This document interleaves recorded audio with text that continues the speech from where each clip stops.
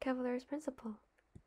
Cavalieri's principle means if two 3D figures have the same height and the same cross-sectional area at every point along that height, they have the same volume. This means if two figures have the same height and area, then two figures have the same volume.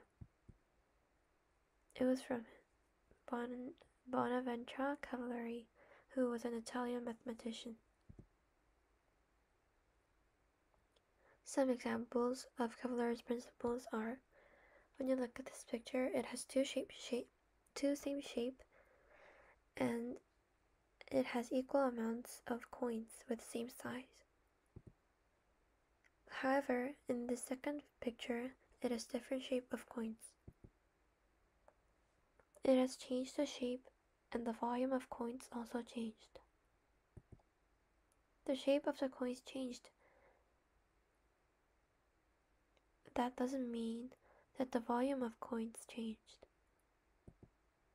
Volume remains same as the original. Let's check. In the first picture, there were total 20 coins shown in the original picture. Also, 20 coins shown, but with different shape on the second picture.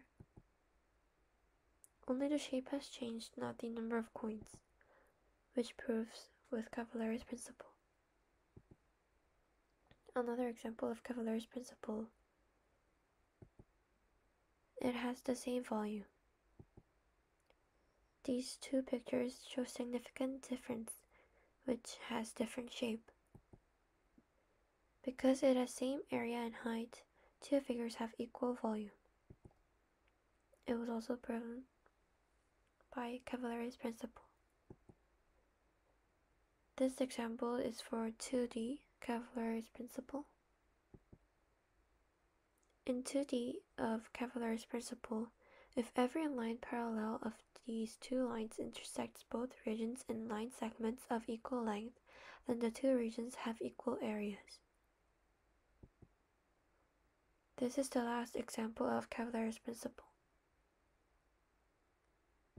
For more information, watch this video. Thank you.